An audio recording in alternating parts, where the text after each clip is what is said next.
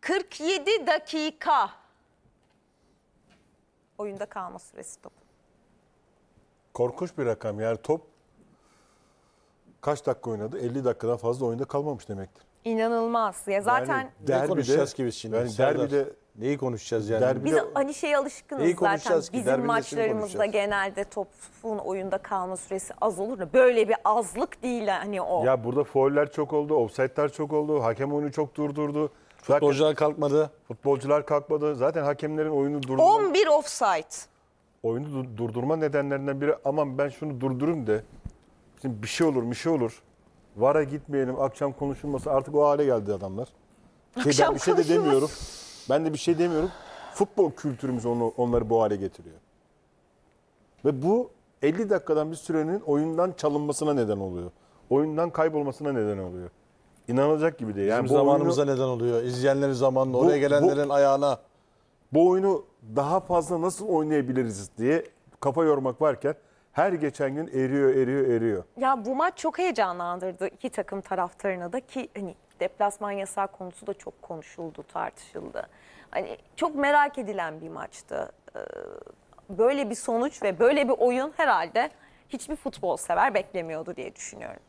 Beklemiyorduk. Maçtan önce hep konuşuyorduk derbi.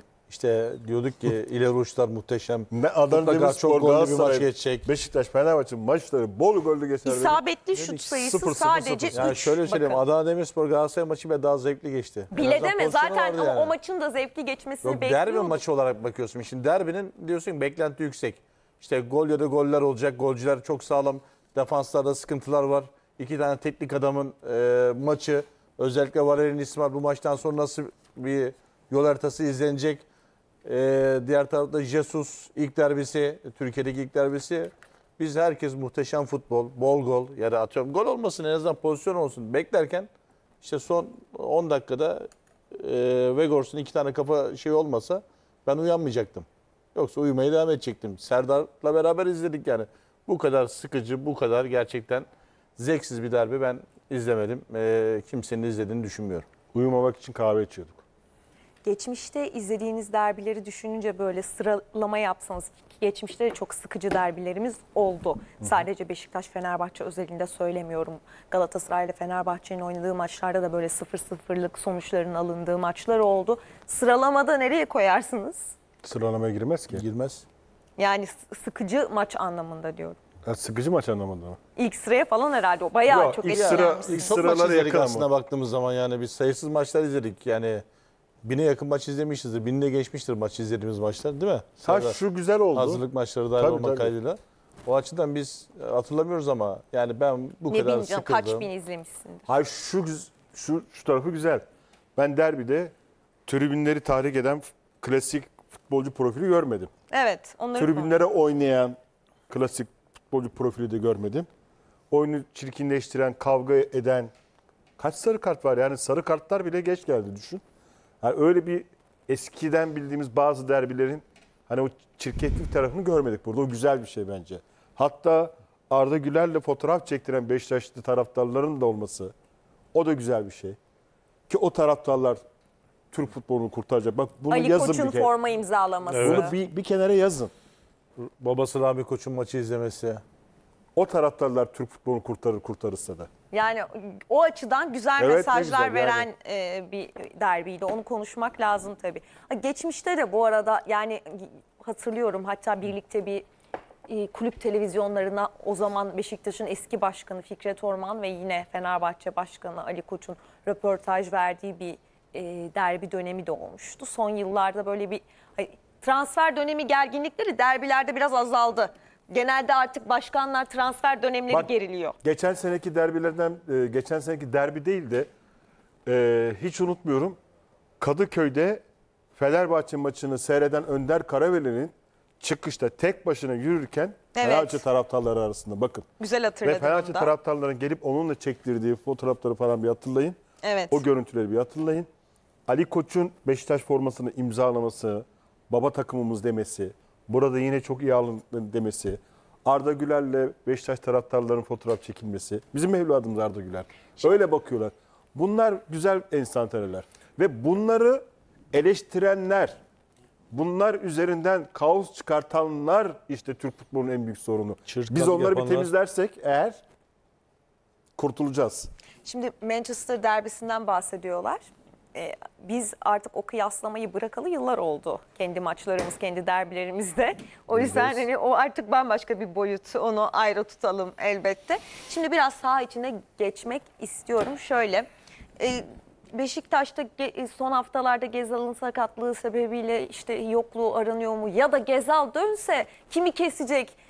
Yorumcular böyle ikiye bölünmüştü aslında ama sanki Gezallı Beşiktaş ve Gezalsız Beşiktaş diye bir ayırmak lazım gibi bu maçta da gördük diyorum ben. Sen ne dersin Serdar? Şimdi doğrudur. Gördük bunu. Enkudu'yu da ekleyelim ama. Evet ama E bir şey tabii onu da söylemek. Bana Enkudu daha önemliydi yani. Ya Bakın. şimdi şu Gezal e, bir- birkaç maçtır olmadığı için ve hani bunun da farkı ortaya çıktığı için Tabii şimdi ki. galibiyete de hasret bir Beşiktaş var. Gezal tek başına bir kurtarıcı değil. Bak bunu karıştırmayalım. Gezal oyuna kimlerle girdi? Ve oyuna girdiğinde onun artık böyle ruh ikizi haline gelmiş Rozier'le buluşması. Oradaki eksik parçanın oturması. Tay- Tayfun'un e, hareketliliği. Evet. Gerson Fernandes'i ileriye yakın oynaması. Bütün bunlar bir araya oturduğunda Gezal bir e, önemli bir figür haline geliyor. Ama Gezal'dan bir tane daha olması lazım. Yani Gezal gibi olması şart değil Evet. oyunu yönlendirebilecek, komuta edebilecek. İşte Salih onlardan biri. Ama Salih'i ilk yarıda baskı altına aldı George Jesus. E, Dele Ali de doğal olarak o baskının altında gördük. O yüzden Souza'nın çok üretken olamadığını gördük. Ama hoca ne yaptı? E, hangi hoca? Valerian Hoca. Ben hep ilk yarılarda ateşi yaktım. Bu sefer ikinci yarıda. Son yarım saat baktığınızda doğru bir taktik anlayışı gibi gözüküyor. Çünkü pozisyon buldular. Ama ilk yarıda gerçekten çok riske girdi mi girdi. Şu eleştirilebilir. Sadece bu maçta eksi olarak keşke Gerson Fernandes'le başlasaydın.